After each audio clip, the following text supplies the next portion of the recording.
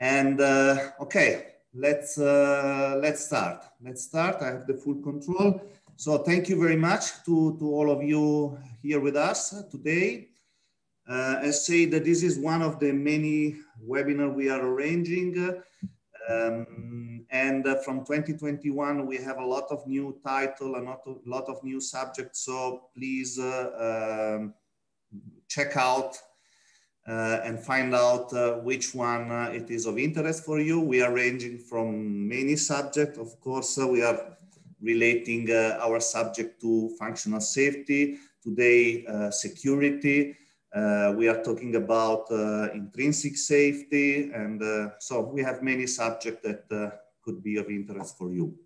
So let me try if I'm able to move the page so we can start. As usual, we are running a very short introduction of uh, the company of uh, GMI, uh, starting with the, the speakers.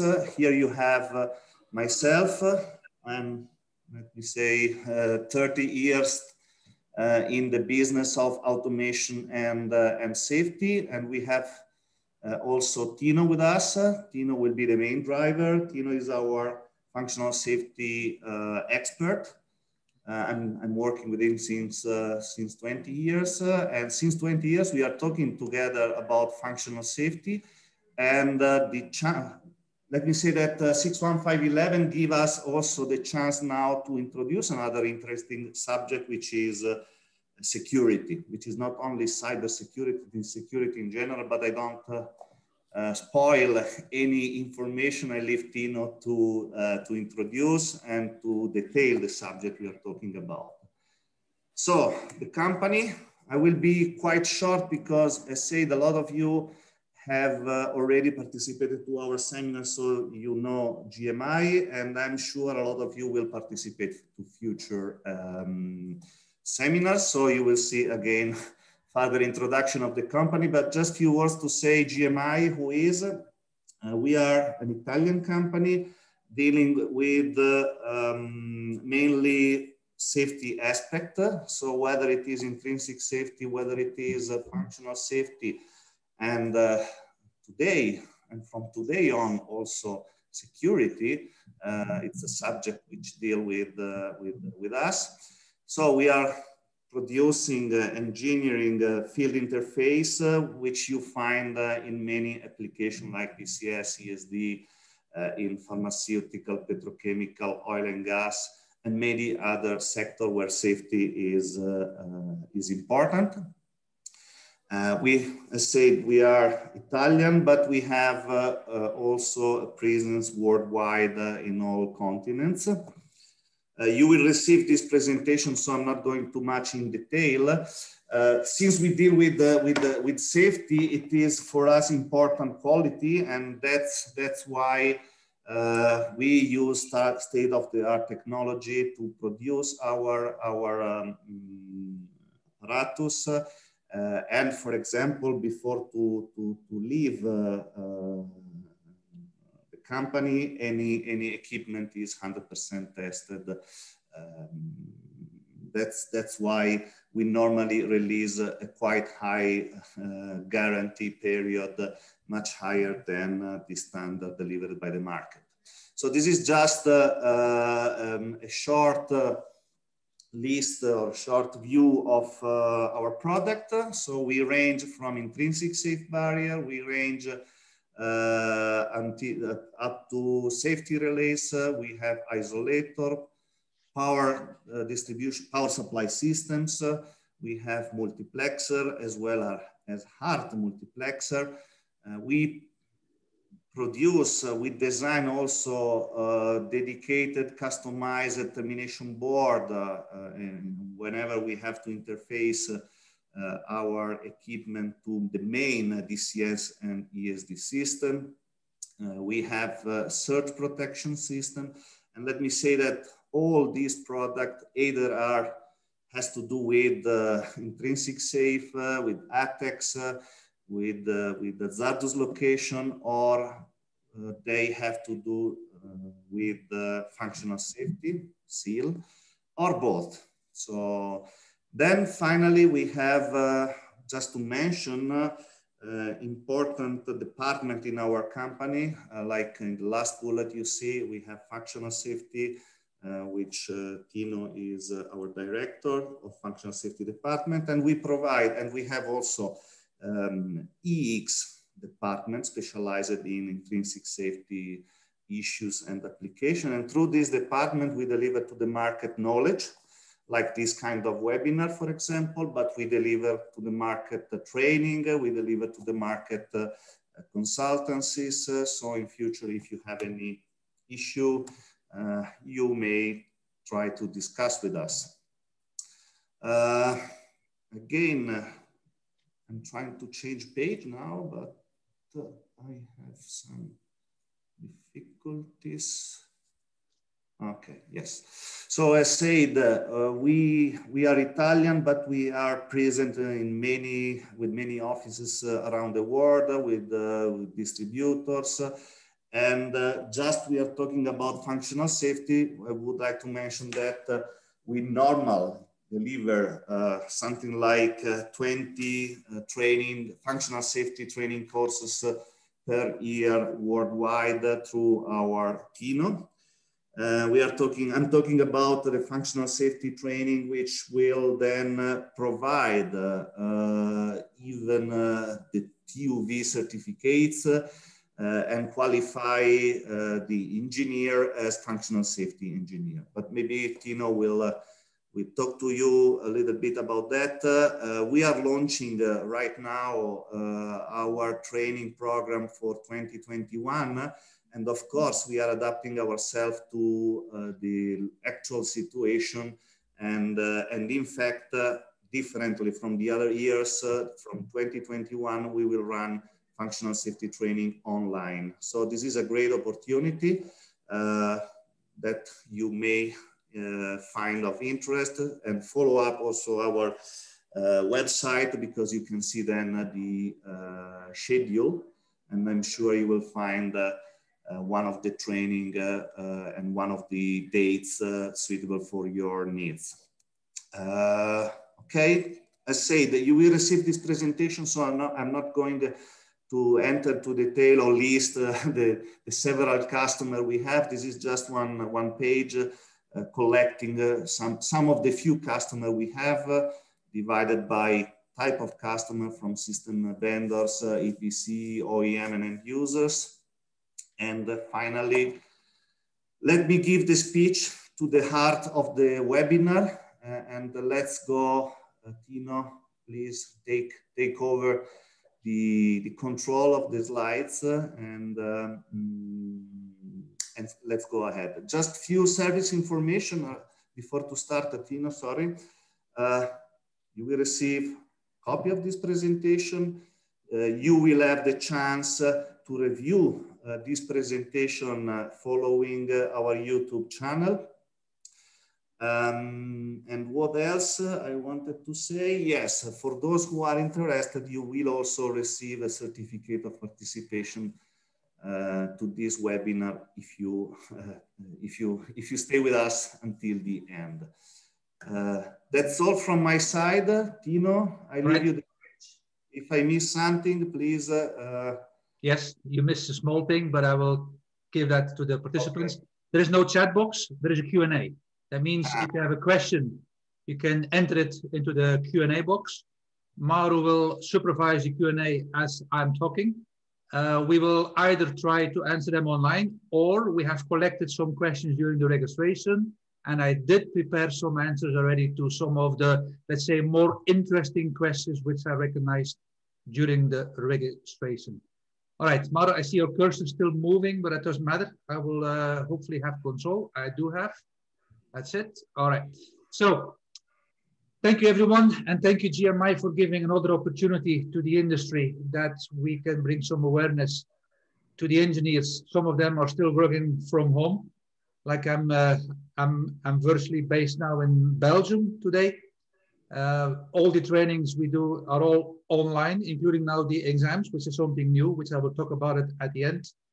Let's first talk about the uh, topic for today. And to enter the topic for today itself, was actually forced to the safety engineers by 2016 edition 2 of the 61511. And I did see some registration coming out of the UK. So you know this as the British Standard IEC 61511. Well, there is a chapter in there called the Process Hazard Risk Analysis, which is chapter 8. And if you would quote 8.2.4, they say you shall carry out a security risk assessment. In other words, when the standard was released, we were all forced in our safety, let's say, cocoon or culture, that now all of a sudden we also have to think about security risk assessment on the same system, the same platform, enabled to reduce a certain risk. Now, the life cycle which I show you here, for those who wants to know more about this life cycle, as Mauro was saying, everything is recorded on the YouTube channel from uh, GMI. So you can go on the IEC 61511 life cycle webinar topic on the YouTube channel from uh, GMI. And there I went a little bit more in depth, which I cannot do today. But as you can see over here, the life cycle is a systematic approach from start, which is here box number one. We call this phase number one. And it's about this phase number one that we will, let's say, go more in depth on the security issue. So I will not talk here about the classical functional safety story on the life cycle. We will focus more now on the security risk assessment, which is a normative requirement since addition to since 2016. And if you take phase number one, as I already mentioned in that paragraph 8.2.4, the statement here in this blue color, or this bluish color, security risk assessment shall be carried out to identify the security vulnerabilities of your system. In other words, you shall try to identify what are the security weaknesses of your SIS platform that could lead into a unwanted event, potentially having a consequence, which I will talk about the consequences in a minute. And the standard is classically saying in a normative requirement, you shall do it, but they don't say how to do it. And that is the whole struggle we are facing since 2016. So it's for the last four to five years now. People are trying with all kind of different information, different books, different webinars, different expert judgments. They are trying to achieve a security risk assessment. And my intention of this webinar was, or still is, that I will try to give you a little bit of guidance, although I will certainly not state that I'm the expert in security because I'm coming out of the safety world, I'm not coming out of the security world, but now we have to work hand in hand together with those security specialists. And the standard, the 61511, is giving a reference to three documents. One is called the ISA, TR stands for Technical Report 8409, which is a 2017 release. For those of you who are an ISA member, you can actually view the standard online or you can purchase it. It's a copyright uh, product. That is also why I cannot give you here any more, let's say, details as pictures out of the standard, although I do have the standard, but I will give you a few summaries out of this standard. Sorry, standard not, a technical report. Second, we have then the IT security management systems, which are actually the 27,000 series. And by memory, I think there are about 46 parts in the 27,000 series.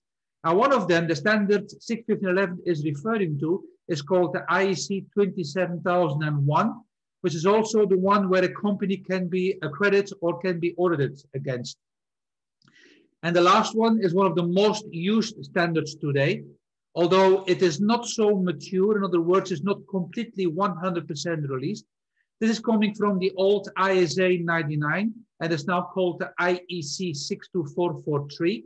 And you can see here the starting date. It started all way back in 2009 and I listed here 2020 because by memory, there is one part three, section two, I think, is out since June or July 2020. So it is still fairly new, and that is a standard, I would call this the OT security standard. I call the middle one here the IT security standard. And the, the 61511 together with the uh, 62443 standard combined is the guidance which you can find in the technical report 8409. That's also the slides which I have prepared. But before we start, I picked some brain of one of my uh, co-workers or, or, or colleague that I'm working with is called Stephen Smith here. He is a, uh, an, an American fellow here based in Belgium. He is a cybersecurity and risk management specialist that I'm uh, working with. And we did some webinars or some seminars in the past together.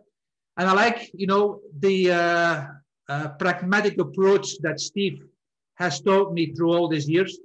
And he said, rule number one, any device with software inside can actually be tricked in doing things it was not expected to do. And you may say, what does this have to do with a safety instrumented system? Well, I give you an example. For instance, you may have heard about in 2010, we had to deal with a Stuxnet virus.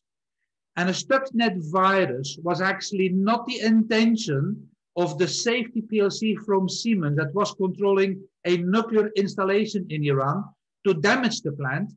The system was actually meant to be used to protect the plant from any, let's say, unwanted events leading into a consequence that could damage the plant or put lives at risk, etc.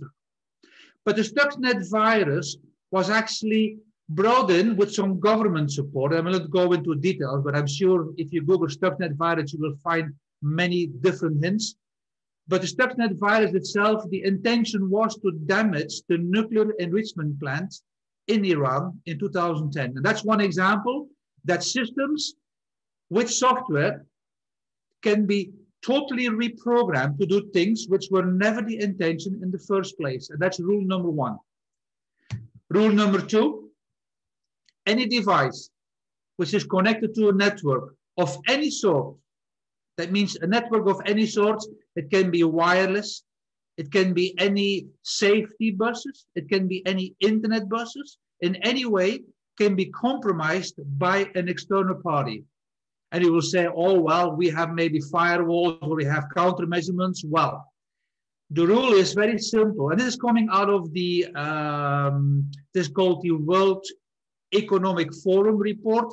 And I refer here to a very old report, which was 2012.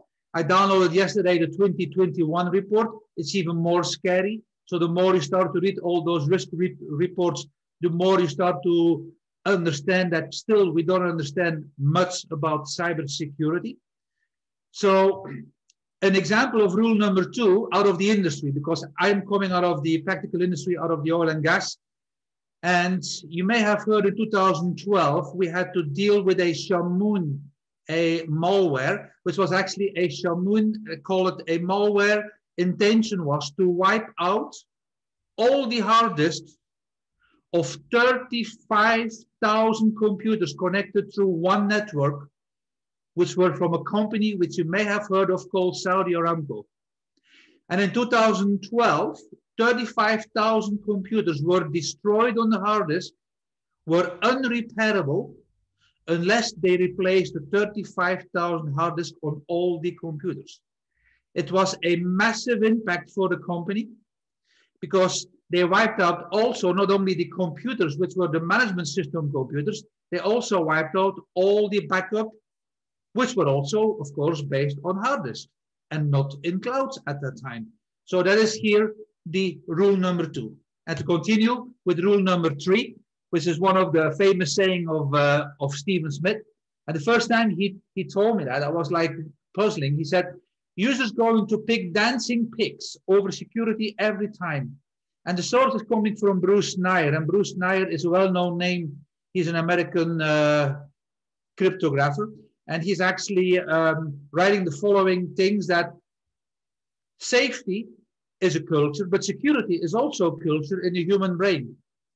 And if you would put a target on a screen saying, do not click here, how many people, if you would test them, would not click on the one they are not supposed to click? That is one simple saying that people are always taking the easy route out if it comes to security. So with that mindset, let us start on the details for the webinar. And I want to distinguish here between the risk, because there are many risks. I mean, we have the risk of COVID-19, and I even cannot hear the word anymore because I'm getting so sick of hearing all the media with all these topics. But risk we talk about here today, if you talk about safety definition risk, it's always we look on, on the type of consequences towards the injury of humans, towards the injury of your capital investment or your economical loss, or also to the environment damage. That is a safety definition for risk.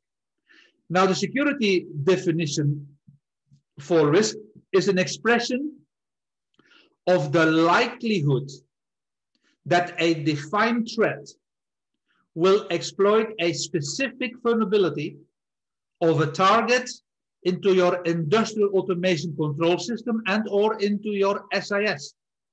In combination of targets using a consequence, and that consequence can be the same again as the consequences in your safety definition. So it can be again consequences towards environment, people, or to your capital investment.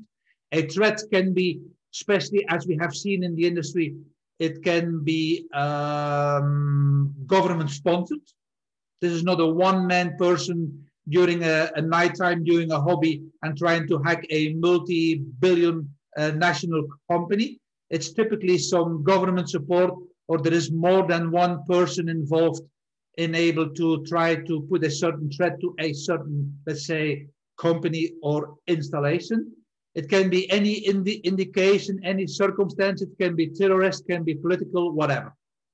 And the, the, the vulnerability is actually any weakness that can be exploited to gain some access to a installation, unwanted of course, but that is actually the weaknesses in our systems we will have to look at. Another topic I want to distinguish because Mauro was in the introduction already mentioning something about cybersecurity is not only IT security.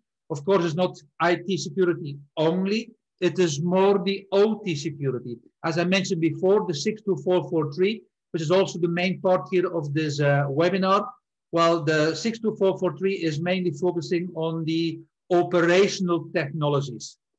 And if you distinguish between IT on the left-hand side and OT on the right-hand side, OT, what is the top objective for an OT security? It is availability of production, turnover, and money. Whereas IT, the top objective is always the confidentiality. The confidentiality is actually where they trying to make everything confidential that people will not have access to the unwanted media or data on their, let's say, system, uh, networks, etc., etc. So those are the two items conflicting with each other, where the OT is more interested or more focusing on the availability and less on the confidentiality, whereas the opposite, the IT is more focusing on the confidentiality and not on the availability. And that is here, the integrity is in both items the same. In between, we have here the Internet of Things. I'm not giving you here anything out, out of my brain. On every uh, slide you see here on the bottom, a source uh, code or a source file where you can find some more information. So if you would go to this website, as Mauro was saying, you will have the uh, copies of the slides electronically, and then you can actually uh, go more than that. Going back to the introduction of the 61511 references. So the reference is three documents. The first document is report 9 2017, which is actually a, uh, it is aimed for the cybersecurity uh, SIS life cycle. So for those of you like me who are coming out of the IEC 61511 background and you are aware and you are familiar to a life cycle, I think that is the document that you should start with because that document here, report number nine, has a similar approach. They will also talk about the uh, cybersecurity process hazard analysis. And I took one of the recent white, white papers of a company out of the industry with references to it, of course, um, here in my slides, which I will give you an example later on. And the functional safety standard for the process industry 61511 is actually referring to the 62443 for the part of OT, but you will see that in report number nine, they are combining the 61511 and the 62443 into your general approach on how you can actually build a, let's say, concept to do a risk management for security on your system. A small word about the IT security. I call this the IT security. This may be a personal impression, and I'm certainly not an IT uh, cybersecurity specialist because that is not my uh, cup of tea. That means that that is not my, uh, let's say, ex expertise over the last 25 or maybe 30 years that I'm in the industry working. The security management system family is called the 27000. And as I said in the introduction, there are 46 different standards in there. And one that the 61511 is referring to is here the one listed here in the first line in the requirements, which is a 27001, which is coming from 2013. And I think there was an amendment in 2015 and one in 2017, if I'm not mistaken. But that is the information for security management system requirements. So there are um, three items that the uh, information security management system approaches. One is people, one is the processes, and one is the technology. And that's also a item that is more focusing on IT and not so much on OT. I'm not saying you should ignore this. Of course, you have to know the key concepts out of this. But I would like to say that most of the, let's say, main topics out of this are already incorporated in other documents, which we will refer to later on here in this webinar. Leading me into, leading me into the, yes. Excuse me, sorry to interrupt you. We have a question and I would like you to have a look to, to that question and you, you will judge whether the answer will be part of the presentation or whether you want to, to, to give a separate answer. Yeah, this is the same person already uh, filed a question uh, con concerning similar. Um, I will not go in depth now, but I leave it, leave it open, Mauro. Don't don't close the question. Once okay. we have the answers, I, I see how much I have answered in the other one because I don't want to repeat twice. Okay. Okay. That's so. Okay, coming back on the last reference from the 61511 is the um, 62443 standards, which I call here clusters and parts. That is how the standard itself on the IEC website is calling it a cluster. So you have cluster one, that's your general section, and I have some slides coming up. You have cluster two, the policies and the procedures. Cluster three is mainly for systems, and cluster two is mainly for the components. The background of it is coming from the ISA 99. So that's the older standards or the IEC standard, I, sorry, the ISA standard that was out in the early days. And from that, they started with the framework of the ISA 99. And it is the ISA 62443 committee who is running this. That means it is ISA 62443 leading into an IEC 62443 standard, which can be purchased out of the IEC.ch for Switzerland web store. Now, the international uh, standard itself are being developed jointly, as already mentioned, between the ISA and the IEC. And the general organization of the standard has four clusters. The first one here are the general concept. The general concepts by memory, we are still waiting, anxious waiting for the uh, section four here or part number four, which should give you the life cycle. So although I'll show here the life cycle coming or hopefully coming when it will be released out of the 62443, but that is here the part which has not been released yet. That is why also in the beginning, that standard IEC 62443, the OT security standard is not, let's say, mature, released completely. What do I call mat mature? Well, typically a standard has a minimum lifetime between five to 10 years before they will do some revisions again. And it takes always the first minimum five years that the standard becomes mature because they find some mistakes, some new recommendation, etc., etc. So I'm sure that the maintenance teams are still working on all the comments received so far, and we will still have new revisions of different parts coming up, although they have been released. Some of them are already again under review. Now, the general sections are the concepts and the models. They will have all the abbreviations like any standard has. They will have the uh, security conformance metrics, which are also not being released yet. They are still in development. And as I said, the life cycle will be in part number four. Then cluster number two is more the general framework of the standards. Here they will talk about the different protection levels, the security levels, which I also have, uh, I have a summary here coming up later on in the webinar. We have four levels now. Then you have the security program requirement for the asset owners. That means for the operating company or the end users. You have the patch management. You have the requirements for the service providers.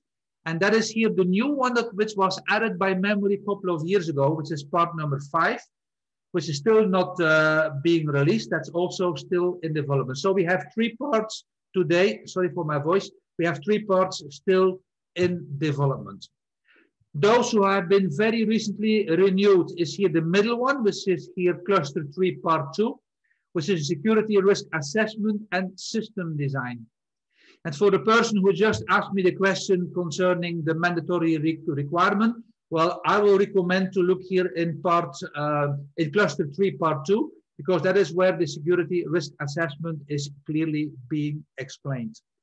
That's the technologies for on system level. What is system level? Well, just simply speaking, thinking about you are combining different instrumentation with your SIS system or your control or your safety PLC system. Well, that is where that system cluster three will be of importance for you. And last but not least, the requirements on security of development for hardware, software development on components level. That means for the manufacturers, well, that is here cluster four, which has part one and part two. Not going too much in detail because I don't want to sound here as giving you a training course on the 62443, as I'm not an expert. I'm just giving you the summary of what I know so far using some parts of the standard.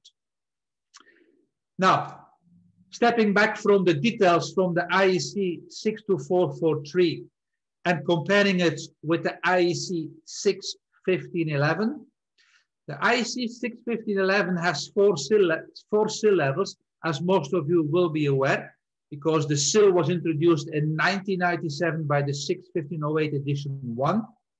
And we all know SIL 1, SIL 2, SIL 3, and the higher the SIL, the more risk reduction, etc., etc. The more reliability, the more availability your system has to be available to reduce your risk. Well, something similar in measurements we do have as a security level. We have a security level one, two, three, and four. And the initial release of the 62443 was also talking about security level zero. And security level zero was simply saying you need nothing as a counter measurement for a security protection. In other words, would be similar to say we have a normal instrument with no security, sorry, with no safety in, integrity level, with no SIL level. Well, that would have been called SIL 0, which does not exist in the standard because the SIL 0 never existed. In the old edition 1 of the 61508, we had a class A and a class B below the SIL 1. That dis disappeared by the edition 2 of the 61508. Therefore, having said that, there is not a SL security level 0 in the latest edition of the 62443. They have taken this out. So what is SL1, 2, 3, and 4? Similar approach. The higher the security level, the more protection you will have to build into your installation. For instance, an SL1 is a protection against a casual or a coincidental violation. And out of, let's say, experience so far in the industry, the majority of the safety PLC vendors are granting a security level according to 62443 between an SL1 and an SL2. And same as we have the approach on the um, SIL or SIL level, because I, I still keep on mixing those levels, but same approach as we do have in safety. When you talk about a SIL level, you may have a target risk reduction you may have an achieved risk reduction based on the performance of your safety loop. And you may also use, let's say, instrumentation who are capable to achieve the SIL level. Well, something very similar we do have in security. We do have a target security level that your installation target will be defined after you have done a high level uh, security risk assessment, which I will show you in the life cycle later on. You may have to show what have been achieved in security level with your counter measurements that you have put in place. And the counter measurements needs to be capable to achieve that particular security level. So very similar to safety approach.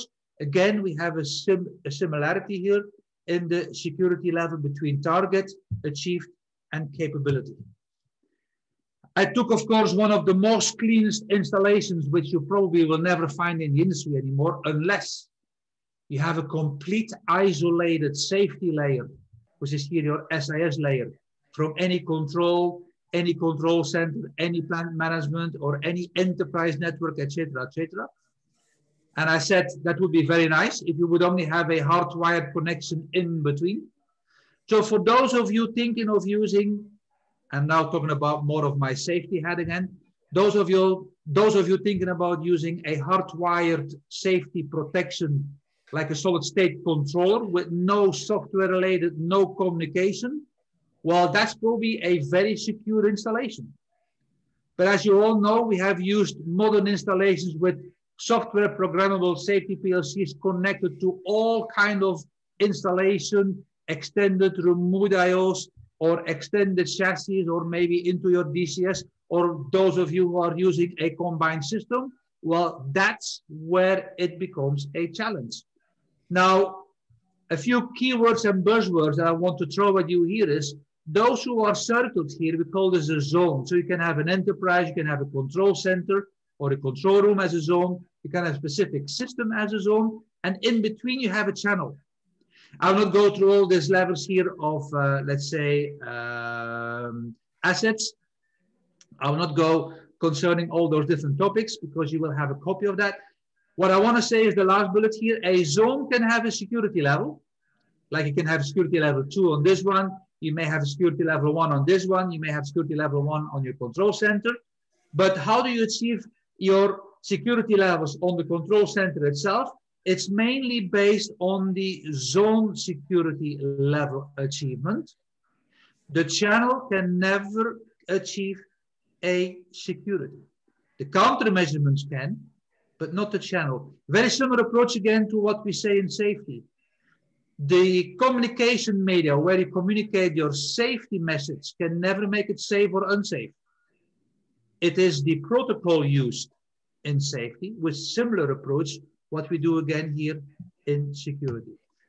Right, we have the first poll question for those who are still awake and Mauro can launch maybe. Yes, I launched the, the, the poll question. So far, very interesting, Tino, really. Thank you you have the capacity to make uh, uh, simple whatever it is really quite complicated.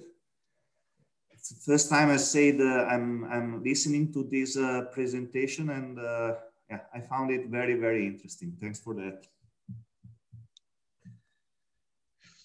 So let's see. I don't know. So they are. Uh, They're still voting. Yes. So it doesn't cost money. So let me read the question for you which cluster, that means which section of the standard is covering the system-wide requirements. Do you think it was cluster one, cluster two, cluster three, or cluster four? It's a bit of a game. We are, we are playing just to get some interaction, get your fingers to click on this button to say which one do you think. And for those of you who are clicking the correct question means you have been listening. For those who have uh, mistakenly clicked here another one, that means that you have not been listening very well yet, but that doesn't matter. It's not an exam question. It's just a game we are playing. Okay, Mauro, I think we can stop. We have about yes, 70% yes, yes. votes coming in, which is good. Yes, yes, yes. very good. So uh, stop it and oh. uh, I share the result. Which is over here. All right. Okay. So as everyone can see, the red color, the red is here the correct question, or the sorry, the correct answer. And we have half of the group listening in today have actually picked the correct one. Because the ones who picked number one, that's the general section. Number two were the policies and the procedures. That's nothing to do with the system-wide. The system-wide, specific for the system-wide requirements, are all down to section number three. And I picked that poll question for a reason that I do assume that the majority of you listening here today are either system engineers or end users or a combination of instrumentation engineers, design engineers, whatever. Well, your domain of playground will be mainly section number three. If there are some manufacturers, your domain of playground will be section or cluster number four. Anyhow, let me continue because see the clock is ticking and I was afraid I would be running out of uh, time as usual. Sometimes I'm talking too much. All right. So let me throw at you here the life cycle for the 615, sorry, for the 62443. You see, I'm, I am still too much in my 61511 uh, mindset. There's nothing wrong with that because those who have followed the 61511 life cycle, you replace the word safety with security. You close your eyes, you blink your eyes, you look at it. Well, that's the 61511 life cycle reformed in a security life cycle. Same approach, we're going to start with the, let's say, assessment phase. We call it in the 611 the analysis phase. So number one, phase number one, you're going to start with a high level cyber risk assessment, which again is coming out of this new released section, which is 3.2, which is the one which I uh, mentioned to the person uh, filling in this question in the Q&A box. That's the section that I was referring to. Then it will then tell you to allocate your zones and your channels or conduits into your installation. So you take a digital footprint of your installation, you divide into zones, you say what channels and communication have between the zones. That's how you start. And then number three, you do a detailed cyber risk assessment. I would say here you most likely will need to have some expertise helping you to make that assessment on your installation.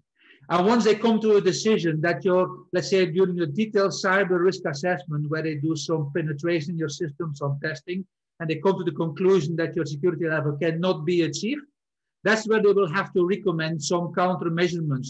And here we go into the cybersecurity requirement specification, which we used to call the safety requirement specification. Now we call it cybersecurity requirement specification. So there we're going to specify what countermeasurements are needed to achieve what security level with an additional risk reduction for security purposes.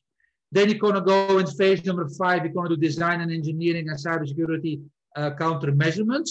That's what we do in our SIS design. That's here what we do in our design of cybersecurity countermeasurements. You can also have other means of risk reduction. You can, for instance, say, we're going to lock the server room with double locks and no one can enter it, as an example. That's another means of risk reduction. That could be one of the items. You're going to combine those um, countermeasurements and the other means of risk reduction together in an installation commissioning and into a validation. The same validation as you have done in the SIS lifecycle with your site acceptance test. Well, even that here, we have to test your installation. And then for the end user here, that is the maintenance phase to maintain security counter measurement performance. So you will have to monitor. You have to do your patches, you have to do your management, you have to keep your passwords, etc., etc. That's all coming into phase number seven. And if you do have a, let's say, uh, breakdown or you have a security attack or whatever, you will have to have a recovery and a response plan uh, available and ready, which is here phase number eight all of that must be managed, must have awareness, must have competency. The competency, all very similar to what we say in the 61511 again. And of course, we have to come and make some assessments and audits, again, the same as we do in the 61511. That's here a, let's say, a complete overview of the safety life cycle of the 62443 in line to the 61511 life cycle. Very short, I took this here and I give them uh, some credits for it because uh, I thank them for sharing that on the websites or on the internet. This here coming from a company called AE Solutions. Some of you may know John Cusimano. He is very strongly involved in the 62443 committee. He's also behind the 62443, the 3.2 new release, which was out since June uh, 2020. There's no surprise that he refers in the white paper to this, uh, um, let's say, standard part of the 62443. And he gives you here like five steps to start. The white paper is downloadable free of charge after registration here on this uh, white paper link. They link it together with the bow tie analysis. For those who don't know what a bow tie is, that's a concept of an inventory and a fault analysis into one model, which grants more and more, uh, let's say, pop popularity into the industry. The five steps to cyber process hazard analysis are first to document your system. I will not go too much in detail. I will not steal here all the items coming from John and from Tim Gell. I forgot to mention the second author, which is Tim Gell here in this document. Then they will come to the uh, weakness of the vulnerability assessments. They're going to look at your networks, they're going to look at your policies, procedures, etc., etc. Then they're going to go into partition the systems into zones and conduits. That's what they do over here. This, these are pictures behind. Of course, you have to have a kind of a risk criteria, which is known with the risk matrix, very similar approach as, as we have done on the SIS 61511 life cycle. So you have to talk about the consequences. You have to talk about the worst case scenarios. You have to talk about the threat scenarios, etc., etc. And then you have to come up with a mitigation plan. The mitigation plan can be some countermeasurements, can be some uh, specific items that you have to uh, additionally install into your installation, etc., etc. Right. The uh, white, sorry, the white, the webinar topic for today was also, let's say, promising you to give you some guidance on where to start.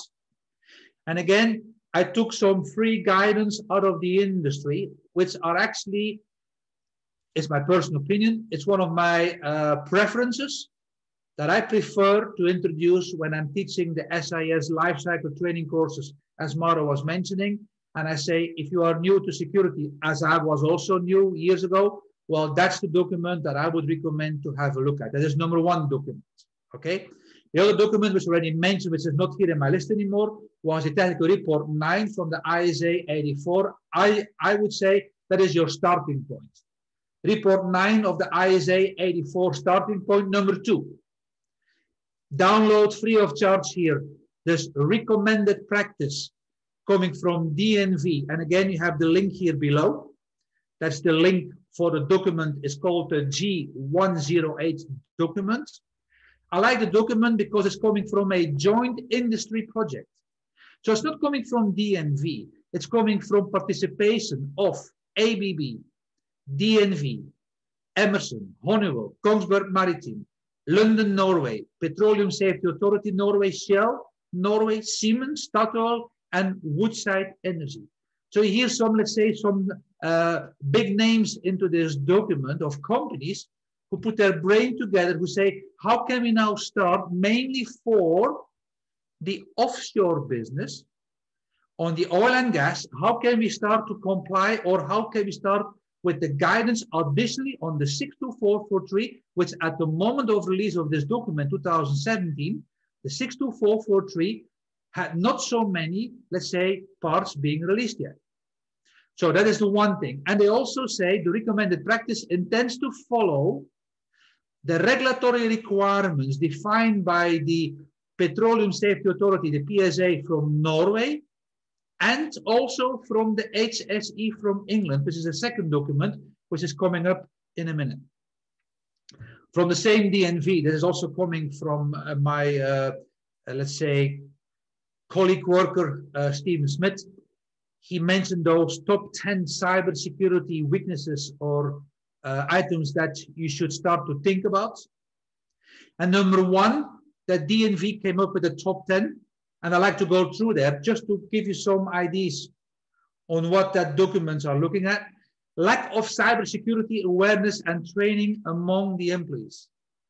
Well, I can tell you now, functional safety on the market since 1997, we still come across people who are not aware of things they should have known for the last, let's say, 20, 30 years. So even cybersecurity, as there's a fairly new topic, there is a lot of work to be done with training. And I'm happy to introduce at the end of this webinar some new trainings that I'm also launching, and I haven't told Mauro yet, otherwise he would start selling them, but as of today, he can start selling them also. But I will show you that later on here on the slides. Second, remote work during operation and maintenance. all this concept from all this, let's say, service contract with maintenance providers, logging remotely into your system sounds wonderful, especially now with all this uh, COVID and, and Corona rules. We have to do all virtual access to system, even for some assessments. Well, that's not actually such a good thing for security, as you may be uh, understanding very simple. Understanding your standard IT products with the known the vulnerabilities in the product environment, a limited cybersecurity culture among the vendors itself, the suppliers and the contractors. I give you a very simple example for the oil and gas industry. How many end users have a clue today what firmware inside their smart or HART transmitters are running their safety loops today? I think if you would ask the questions in the industry, you would be surprised how many people have no idea other than they know the model and the color of their transmitter, but they have no idea what firmware revision is controlling it today. Insufficient separation of data networks. It's quite remarkable, 2012, that the attack in Saudi Aramco could kill 35,000 computers at one command. For a very simple reason, there was only one network to the complete country, connecting all the computers very happily in one family together. That's not a very clever thing to do. The use of mobile devices and storage units, including the smartphones, data networks between on and offshore facilities, insufficient physical security of data rooms, cabinets, etc. Software itself that is vulnerable, and then the outdated and the aging control system in facilities. I think you have more than enough to start to think about of your own installation if you have some operating or end users here in this webinar. Number three document, which I highly recommend, again, free of charge to download, is the uh, operational guide. It's called the OG86. And those who are logging in today from the United Kingdom, I'm pretty sure that you know this document very well. Second edition, because it was also a first edition, but it's a second edition out. And again, the link on the document will be on the bottom of the slide, which is the uh, um, operational guide, which give you a, uh, let's say, a as low as reasonable practical demonstration of the facility towards cyber security. It is coming out of the IEC 61511 uh, in the British standard. It is recognized as a good practice. And the reference is related to the second edition of the 61511, which is the 8.2.4, which we actually abbreviate now as the SRAs or Security Risk Assessment. And in, the, in, a, in a summary of the document, both the OG 86 and the IEC 61511 referred to the 62443, which was the OT security standard, which I already explained to you as the applicable international standard, as well as the ISA 8409 security countermeasurements related to your SIS or to your industrial automation um, automation control. I was reading the question there, sorry. Uh, automation control system, security risk assessment and implementation. Right, document number four, which is not free of charge, I have to say, unless you belong to the NAMUR, let's say, work group, or sorry, to the NAMUR end users group. It's an end user, it's a chemical group. For those who do not know what NAMUR means, well, again, there is a link here below, namur.net. Uh, this reference is coming from the work group 4.18. And the work group 4.18 is the automation security. And one document which I have a, uh, well, I got a copy of that document is the NA163. That's a security risk assessment of an SIS. It's again a different approach to what the OG from HSE or to what the recommended practice from DNV had. But if you bundle them all together, I'm sure you will find your way, which one you prefer best, enabled to start into your installation. Again, there are four documents that I would like to refer to. It's the NA um, 135, and the N, NA1135, the NA is uh, one of the uh, worksheets, whereas the recommendations are called the NE. So the NAs are worksheets, the NEs are the recommendation. There's the 153, That's the Automation Security 2020. That was released 2015. Then we have the NA163 was released 2017, and you have the NA169, which is the Automation Security Management in the Process Industry. Right. And for those of you who are very keen on references, well, I got this again from Stephen uh, Smith in one of the other pr presentations or webinars we have been uh, doing. Um, well, we already mentioned a few of them. The ISO 27000 series with the 49 parts. We have the re report, uh, which is here technical report 99, that security technologies for industrial automation and control system. We have the ISA 99, which is now also the IEC 62443. We have another standard here in 27000 series that Steve was referring to. That's for security, for process control. That's specific for the energy, for the, sorry, for the energy industry. I was already in the industry words in my pronunciation, excuse me. Of course, you have the national compliance standard, you have the NIST, you have the NESA, which is for the people logging in from the Middle East, that's for the UAE, which is a normative requirement. In Norway, we have a normative requirement for nuclear, for instance. And of course, there are many association studies or recommendations webinar. I'm pretty sure that uh, our good old Google will give you lots of references which are on, on here, but I thought I give you the majority. Right, I think this is my last poll question, Mauro. Yes, this is the last poll question. We have to speed up, a little, speed up a little bit because we are running out of time. I didn't stop you because the subject is really amazing and interesting. So let's. Right. So the, stand, the, question is asked. The stand. The sorry. The question is, which security level is associated with the following description: protection against intentional violation using simple means with low resources, genetic skills, and low motivations.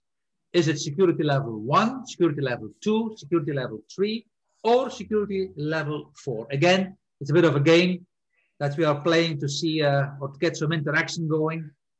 For sure that some of you may have fallen asleep already, maybe, who knows. and now you may think like, oops, now I have to click. So hopefully you click the right button.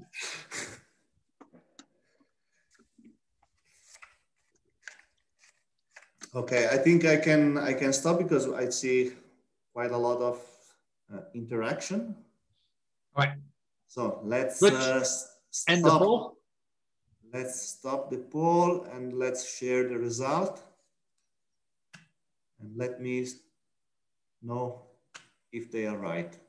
Okay, well, the majority have it correct. So they were noticing the definitions of security levels or maybe already practicing security levels or know what security levels means. So the correct definition was here indeed SL2.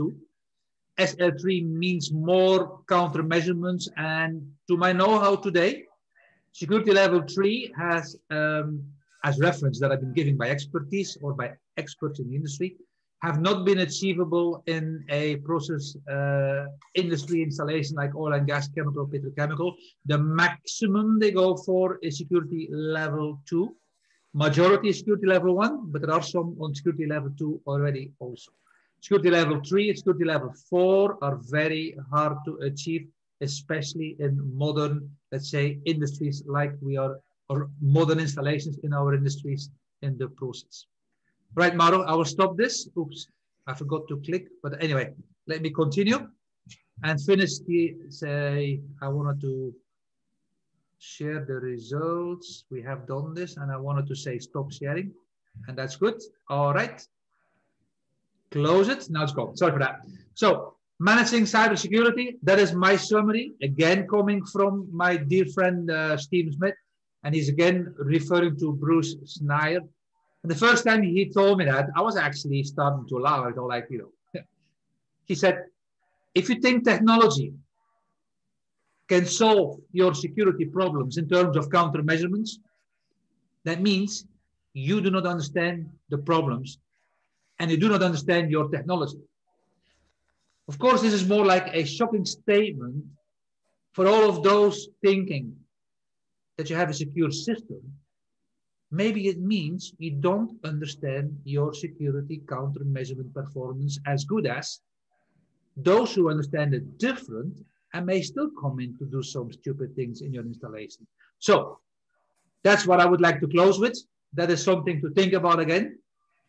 So 100% security will never be achievable unless, and that is the big question, unless what? That's something which I cannot answer for you. So let me go and finish the webinar. GMI, together with myself and a team of expertise in the background, can help you with the following services. On the 6, 15, 11, which we not talk about too much today, so let's skip this. Let's focus on the 62443. We do have some expertise to help you in industrial security management and assessments on installations. And we also even help some security management with some specific suppliers.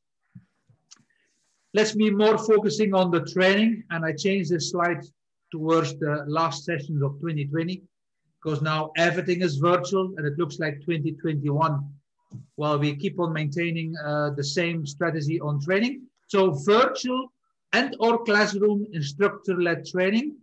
Of course, the flagship training that I'm still um, supporting is my good old functional safety, functional safety engineer competency review program together with TÜV Rheinland, which is a three and a half days, 100% online, including the exam, which is new, which I also will give you a very short definition on the exam online in a minute.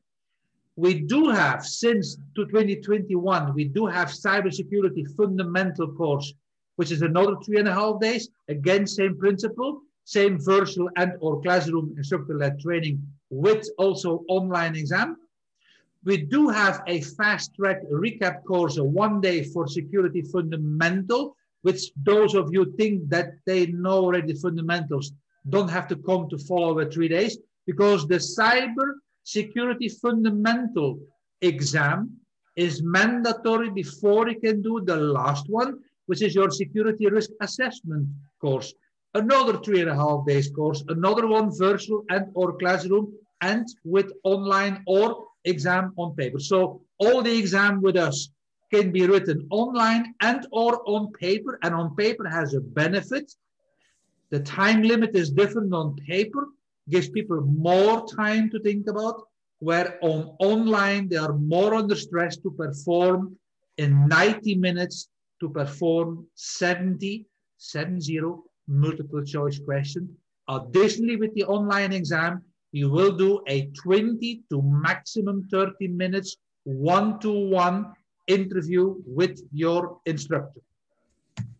Right, we also support you with the SIL manual from GMI, which is a, a manual which we haven't talked too much today. Nothing in there yet for security. That's some of the ideas that we do have to maybe add a specific chapter in there for security but that has not been decided yet.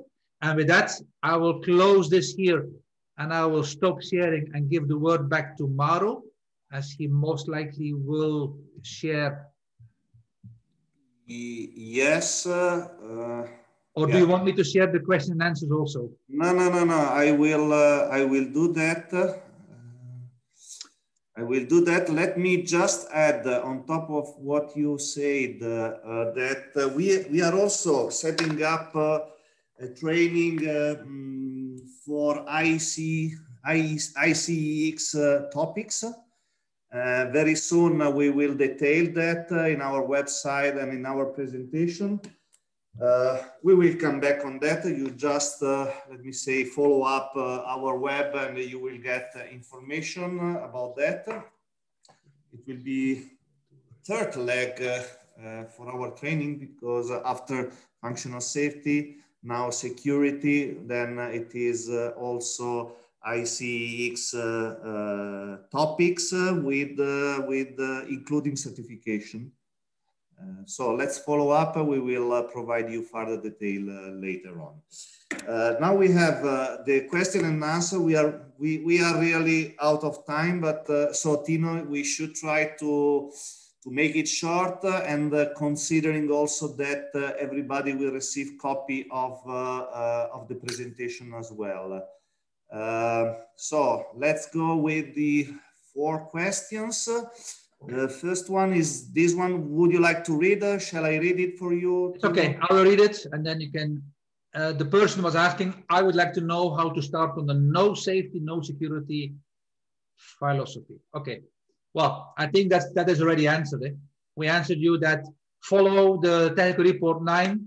That's the first recommendation. Second was the DNV recommended practice. The third one was the OG86. And the fourth one was potentially the Namur. Altogether with the 62443, that is how you could start. Of course, it could be a, a, massive to start to read all those documents. For instance, the technical report nine is about 150 pages, so it's not easy to start with.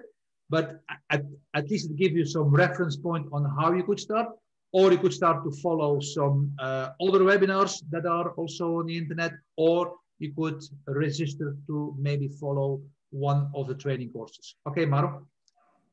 Which standard needs to be followed to meet security requirements in the 6, 15, 11? I think that's the question that I recognized. Okay, Mauro, next. The answer is, and I think it's the same person who was filling it into the Q&A. Um, and the Q&A was, let me first read the question for those who, who don't see maybe the question and answer.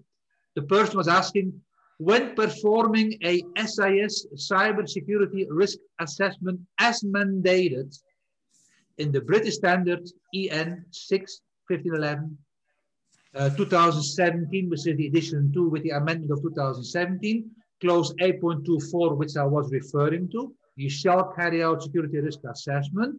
The question is, how do you set boundary conditions to the cyber uh, security risk assessment when the SIS may be a single PLC connected to a very large network would connecting the PLC via a lockdown firewall enable you to limit the scope of the cybersecurity risk assessment?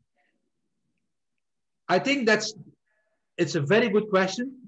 I cannot answer it 100% other saying that in my first uh, impression looking at your question, I would say depending on the firewall counter measurement security level, and how can you prove that it is locked down, that it will isolate your safety PLC from other potential threats. And the question that is always debatable, how secure is the firewall? And I will leave it with that. That's something to think about. So what I want to say for the rest, no, Mauro, can you please come back? What I want to say to the rest, there is no requirement in the standard saying you shall follow the 624 uh, the 62443. That means it's a note, a note in the standard, in a normative section. A note is typically treated as a informative recommendation from the normative section of the standard, what references you could look in, and they give guidance to those three documents. So what I'm trying to say is here, it's not normative required to follow the 62443. It is normative required to do a cybersecurity risk assessment, and how to do it, that of course is something that you will have to figure out. Okay, Mauro. How SIL related with the cybersecurity? Continue. There is no simple relation between the SL and the SIL. Yes, we both have four SIL levels. We both have four security levels. You could, you could say maybe as a coincidence, but they have no direct relation to each other. It's not because going to have a SIL 1 installation that therefore you also have a SL1 installation. Having said that, out of my summary, which I already made, it would be very silly to build a safety instrumented system with an SL nothing. Because SL nothing means there is no security protection. So as a minimum, my humble opinion would be every safety system will have a SL1 security level one security protection necessary. Okay, Mauro?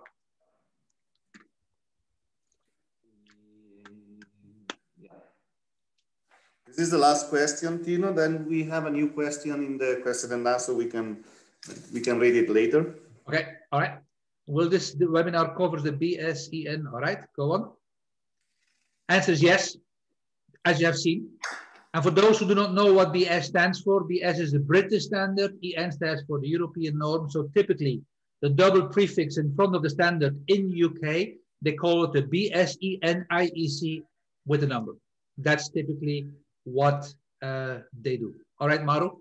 Yeah, we will last, see what happened. Last we, we will see now what happened with BS and EN with the with the Brexit, eh? because we are already facing some some issue with uh, with all certificates and standards. That's and a good point. So this is an open uh, this is an open topic which will be clarified in the coming uh, months. Uh, yes, uh, okay. In the meantime, we have a very last uh, poll question to be. To Can be I read asked. the question that is coming yes. in? The last one very quickly. My question I, isn't about which standard to use, but how to scope the activity.